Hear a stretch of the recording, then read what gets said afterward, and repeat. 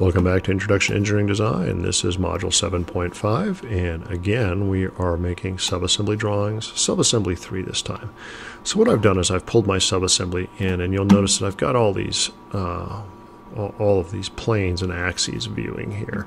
And I want to turn that off for my drawing. So I want to go here and click Hide All Types, and I haven't really shown you how to do that yet. So we'll hide all types. Now I want to make a, well actually first I want to make a uh, view of this that is exploded. So I'm going to go here and right click on my default view, new exploded view, and I'm going to start my explosion steps. So start by pulling our uh, one block socket out.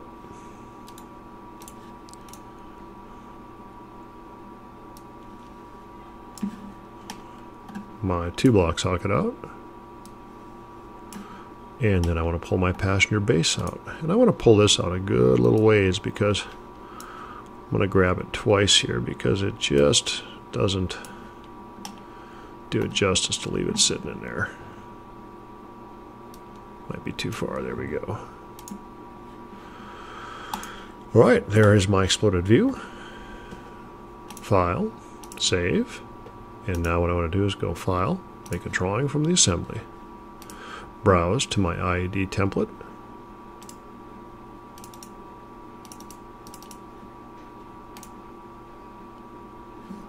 And I'm going to place my isometric view.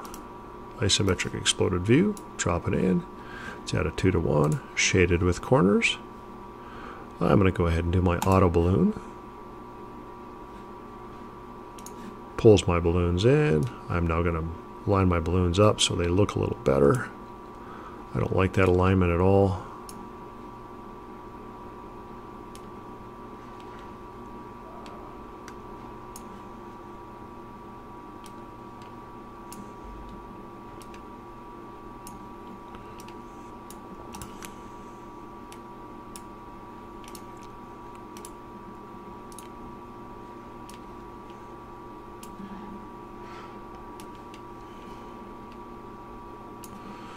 And there we go. Got my balloons in here. Next I'm going to add my bill of material. Annotation tab. Tables. Drop down. Bill of materials. Select the view. Parts only. Click the check mark. Drop it in. Edit Item 1 made out of wood. Item 4 is plastic.